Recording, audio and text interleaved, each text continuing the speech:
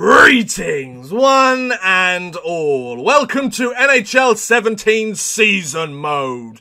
Now, as most of you already know, the Vegas Golden Knights have now got themselves an actual roster, thanks to the expansion draft that took place two nights ago. Now, that got me thinking how would the Golden Knights roster perform against the rest of the league before free agency and before the NHL entry draft tonight? So here we are in NHL 17 to find out. I have set up a season mode with my new Las Vegas Golden Knights team that I created, and I've added all the players picked in the expansion draft, bar the prospects, who are really low 70s, or really low overall players, and I didn't add the players that were traded yesterday, such as David Schlemko and JVR. So this roster is up to date as of the time of this recording. Of course, the entry draft is later tonight, so this could completely change and this team could be completely different by the end of the evening. But it is the current roster that we could well see on opening night for this team.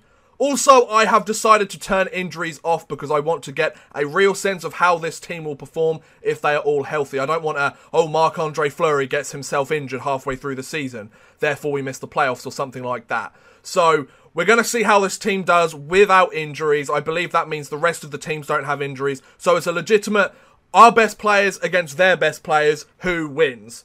So let's take a look at the lines, then we will sim through the season and we will see how far we get. It will be fully simulated, but here are your lines for the Vegas Golden Knights. We start on the first line with Jonathan Marchessault, Cody Eakin, and James Neal. Second line, David Perron, Erik Haula and Reilly Smith. Third line, Oscar Lindberg, Mikhail Grabovski, and Connor Brickley. With fourth line being Chris Thorburn, William Karlsson, and David Clarkson.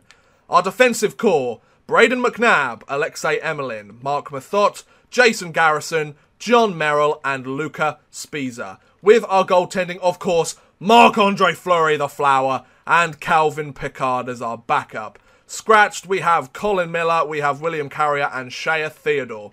They probably won't be playing any games this year or in this simulation because of the injuries, that is. So we will see how this team performs. So I decided to put Perron on the second line because he's a second line forward. Same with Reilly Smith and Clarkson and Thorburn are on the bottom line because they're fourth line forwards. So this forward group looks awful except for James Neal and Reilly Smith, I'd say. The defensive core, I mean, if we had some decent people up here, then the rest of it would actually look pretty solid, in fairness. Then the goaltending will be alright. I think we'll be okay with this goaltending. So, let's go to the season and see how we do. So it is just going to be a case of simming through the entire season, seeing where we're at by the end, and having some fun. So we want to go all the way to April. Let's go to April 9th, 2017. So let's see how this does. So our first game of the season against the Philadelphia Flyers, we lose in overtime. And we lose against the Ottawa Senators and the Montreal Canadiens and the New York Islanders. We get our first win against the New York Rangers, then a loss against New Jersey, a win against Philadelphia, a shootout win against the Colorado Avalanche, a loss against the San Jose Sharks, loss against Nashville, a win against Anaheim. So we're getting some wins here.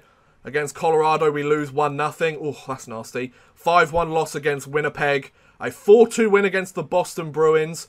Not too bad. A 4 3 win against the Calgary Flames. A 4 1 win against the Vancouver Canucks. Wow, we're on a four game winning streak now. Well done, lads. Going 500 hockey again, and then we lose in a shootout.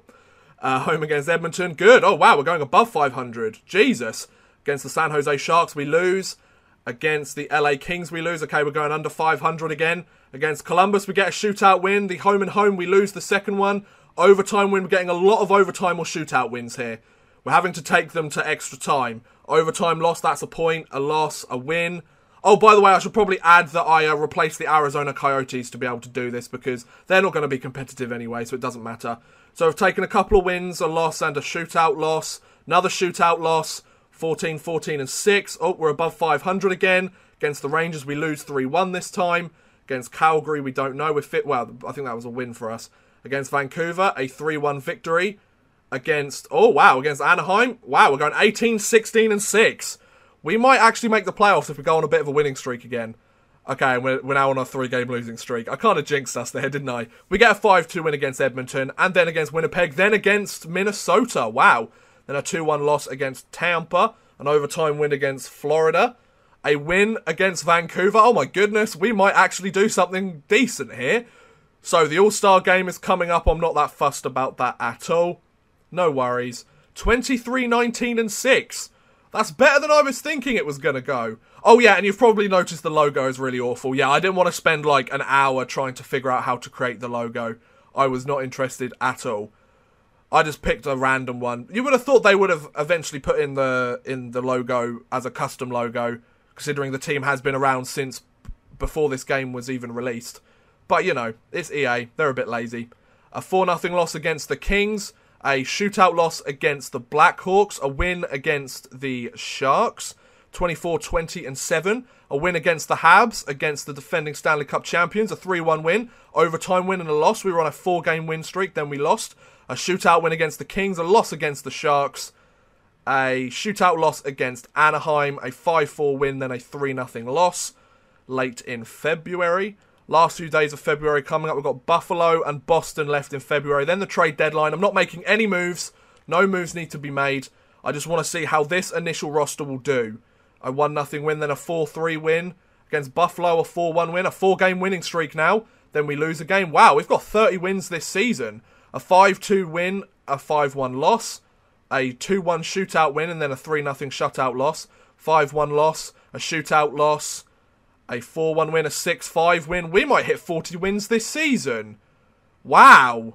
Overtime loss. Come on, let's hit 40 wins this season against Washington. There you go. 40 wins this season for the Vegas Golden Knights. Supposedly in their first ever season, they are going to go 30, uh, 40, sorry, 40 wins, 30 losses, and 12 overtime or shootout losses. Now, the real question is is that enough to get into the playoffs in their division? Let's have a look. No, it wasn't. Wow, well, hang on a minute. We don't know. Hmm, hang on a minute. This is really close.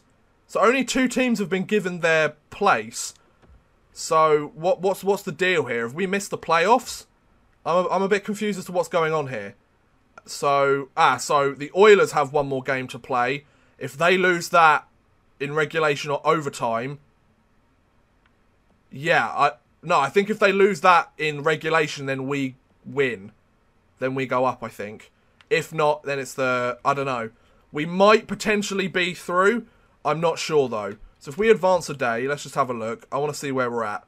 Okay, so did we get any of the wild card spots? Because it doesn't look like it. The playoff matchups have been determined. So, the Vegas Golden Knights missed the playoffs by two points. Wow. By two points. With a record of 40, 30, and 12. James Neal having the top point scoring with Reilly Smith, both 58 points. So James Neal will be a 20 goal scorer. Perron will be a 23 goal scorer for the team. Marchessault will drop from 30 goals to 18 49 points for him this season. So that's not bad actually. David Clarkson with 22 points, Thorburn with 20 points, 105 penalty minutes. Nice job. So Jon Merrill will be the worst off. He's a defensive defenseman, makes sense. A lot of defensive defensemen on this team. And then how did uh, Marc Andre Fleury do this year? So he played 69 games, 35, 23, and 7. Goals against of 2.37. Save percentage 925 with four shutouts on the season. That's pretty impressive for Marc Andre Fleury, considering he is playing against a really, or playing with a really mediocre team at the moment. The fact that they went two points away, they were, yeah, they were literally a win away from going through to the playoffs. They were five points back from first place in the division, 10th in the Western Conference, so we weren't that far out at all. So let's just sim up to where the draft is supposed to be or or let's just sim yeah let's sim up to where the draft is supposed to be and we'll see who wins the Stanley Cup this year. So the Vegas Golden Knights they are not in the playoffs this year. I'm glad that I did it without injuries because I actually get to see like legit if this team was like this and and it, it didn't put a handicap on the other teams as well. All of them had their players stocked up as well. So it was a legitimate every single uh, team's uh, best players together who would do the best. And the Vegas Golden are only two points out in their first year of a playoff spot. That would be super, super promising for the new franchise, definitely. So the Stanley Cup champions were the Pittsburgh Penguins. Well, the NHL 17 simulation managed to get that right in season mode. So there you go, the Pittsburgh Penguins won, and season mode is now complete. So there you go. At the end of the regular season, a 40 win, 30 loss, and 12 overtime or shootout loss record for the Vegas Golden Knights. Let's just look at how far we were out of the conference. So we we're in the Western Conference. So Nashville was the lowest team. We were literally one point back from making the playoffs. One point. We were 0.6% of a point winning percentage from making the playoffs. Wow. Then if we take a look at the entire league, where did we place? We placed uh, 15th. We placed exactly in the middle of the league. And look how many of the teams managed to make. There were three teams that placed below us this season that managed to make the playoffs, all from the other conference, of course. So, wow, that's pretty that's pretty interesting to see actually that the Vegas Golden Knights could potentially make the playoffs in year 1. According to NHL 17, of course, I think their team isn't strong enough to make the playoffs in year 1 unless they make any more moves. But considering Schlemko and JVR are no longer part of the team and I didn't use them in the overall look of this team, the fact that they they had 188 and their next best player was 85 on forwards. They had no guys above 85 or 86 on defense, and they had an 88 rated goaltender.